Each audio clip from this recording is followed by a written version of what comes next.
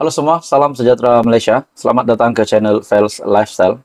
Tuan-tuan dan puan semua, terima kasih kerana memilih channel ini untuk mendapatkan info padu, info hangat topik yang panas di Malaysia hari ini.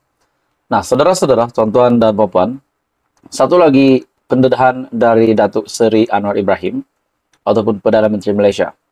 Pendedahan ini menyebut nama Tun Dr. Mahathir semasa beliau menjadi Perdana Menteri pada tahun 1999.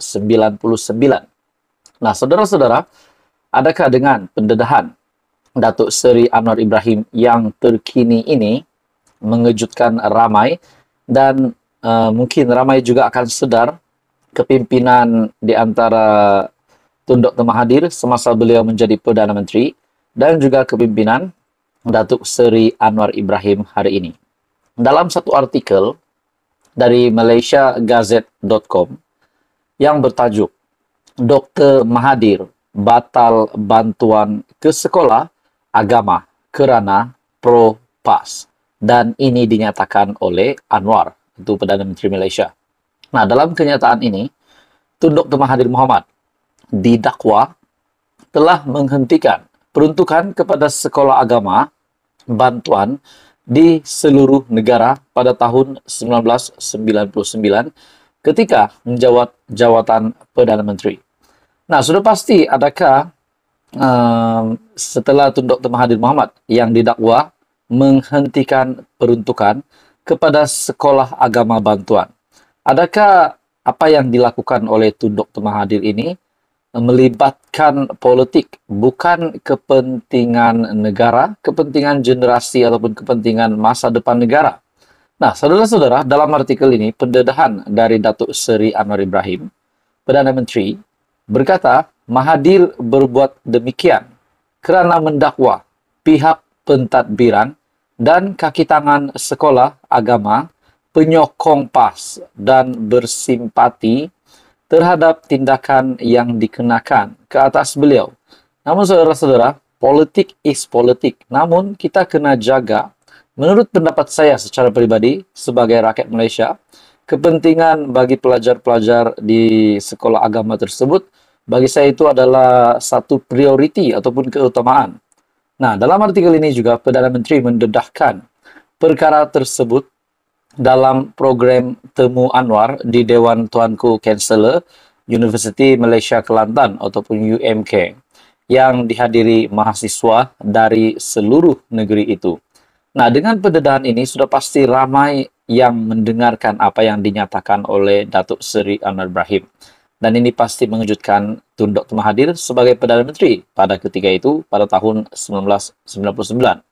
Dalam artikel ini, saya sebut tadi umpamanya pada tahun 1999 ketika saya merungkok di penjara Sungai Buloh Perdana Menteri ketika itu Tun Mahathir membatalkan semua bantuan ke semua sekolah bantuan agama rakyat di seluruh negara atas alasan sekolah agama rakyat ataupun SAR ini pro PAS dan simpati dengan Anwar seluruh sekolah agama itu dihentikan bantuan. Tak apalah sekarang dia berkawan dengan mereka. Saya tak faham macam mana. Seperti yang kita tahu, Tundok Mahathir bersama-sama dengan Presiden Bas yang kita dapat lihat bahwa hubungan mereka semakin akrab dan rapat, bahkan mesra. Tambah Perdana Menteri lagi, sejak mengambil alih pentadbiran, beliau telah memastikan sekolah agama rakyat di Kelantan, Terengganu, Kedah, Perak dan Johor dipulih dan dibantu semula. Adakah dengan apa yang dinyatakan Datuk Seri Anwar Ibrahim ini membezakan kepimpinan Anwar dan juga kepimpinan Tun Mahathir? Dan adakah ini juga satu kemenangan besar kepada Datuk Seri Anwar Ibrahim selaku Perdana Menteri hari ini dan jika dibandingkan dengan pentadbiran Tun Dr. Mahathir Muhammad? Jadi apa komen Anda saudara-saudara? Teruskan bersama di dalam channel ini. Untuk info yang seterusnya, info padu, info hangat disediakan di dalam channel ini. Jangan lupa tekan butang like, share, dan subscribe. Salam sejahtera Malaysia. Selamat datang ke channel Fails Lifestyle. Tuan-tuan dan puan, saudara-saudara yang saya amat hormati sekalian. Akhirnya, satu topik panas yang tergempar yang mengejutkan ramai hari ini. Akhirnya, Ketua Polis Negara membuat pendedahan yang pasti mengejutkan ramai, di mana KPN ataupun Ketua Polis Negara dalam satu artikel mengesahkan artikel dari biharian.com, Akril Sani akhiri tugas Ketua Polis Negara awal Julai ini. Nah, pada akhirnya bagi saya ini satu keputusan KPN yang amat mengejutkan ramai, terutamanya kepada kebanyakan pemimpin di Malaysia hari ini. Dalam artikel ini, Ketua Polis Negara Tan Sri Akril Sani Abdullah Sani bakal mengakhiri tugasnya lebih awal dari yang tarik yang dijadwalkan. Beliau akan mengakhiri tugasnya sebagai pemimpin nomor satu PDRM ataupun Polis di Raja Malaysia pada minggu pertama Julai ini meskipun tugas diberikan kepadanya sebelum ini berakhir pada Oktober ini. Bagi saya, ini satu pelepasan jawatan ataupun peletakan jawatan yang pasti mengejutkan ramai. Susulan persaraan beliau, tugas memimpin pasukan PDRM untuk mendepani PRN ataupun pilihan raya negeri yang bakal diadakan ataupun berlangsung di enam buah negeri pada Julai atau Ogos ini bakal digalas timbalannya Tan Sri Razarudin Hussain Ketika dihubungi BH semalam, Akril Sani mengesahkan perkara berkenaan. Ya benar, saya akan berundur dari pasukan PDRM pada minggu pertama Julai ini.